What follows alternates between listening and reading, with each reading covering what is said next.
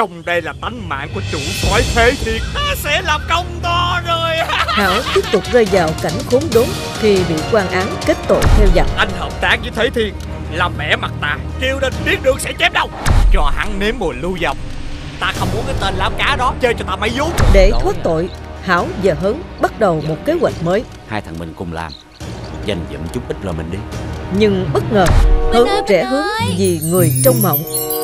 Anh ba Anh có có có cách nào để cho Yến thích tôi không anh ba Đàn bà con gái khoái đàn ông mạnh dạn Râu ria Làm cái gì mà bữa nay để râu ria thấy ghê quá vậy Anh ba anh nói á là đàn bà con gái thích đàn ông để râu ghia giống vậy nè Diễn biến tiếp theo, truyện cổ tích Việt Nam Hai chàng hảo hớn tập 11 được phát sóng lúc 19 giờ 45 phút Chủ nhật ngày 5 tháng 4 năm 2020 trên kênh truyền hình Vĩnh Long 1.